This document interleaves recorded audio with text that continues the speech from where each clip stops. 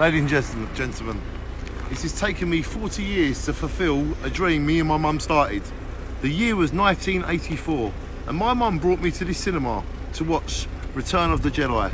The year was 1984. That was 33 years ago. My mum brought me here to watch Return of the Jedi. She then died a few years later when I was 14. I haven't got many memories of my mum watching ET with my mum here, watching Star Wars Return of the Jedi with my mum here. And I remember sitting next to her watching this film together. And I haven't got many memories of my mum, me and her together, but that was one of the best.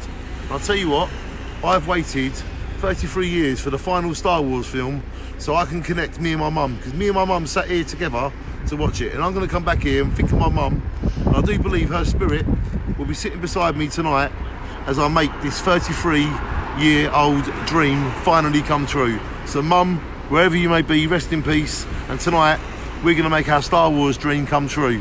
I love you mum. Love is forever. Rest in peace. I love you mum. Thank you. Thank you. Goodbye.